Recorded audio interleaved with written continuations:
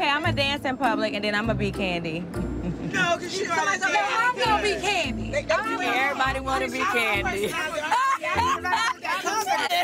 Can you do Kandi now? Just to give us an example of what we can look forward to. Yeah, I don't know what y'all talking about and what we getting ready to go, what we getting ready to do.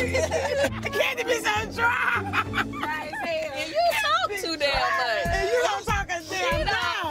You can have to come to my etiquette class, Kandi. Oh, you going to an etiquette class? No, I have an etiquette class. For who? For you. I'm gonna teach you etiquette, how to be more friendly and more get up outta here. open and more You can't welcoming. teach etiquette to nobody around Oh my here. God! Who looks at Marlo and says, Oh, I need to get some lessons from her about etiquette? Girl, bye.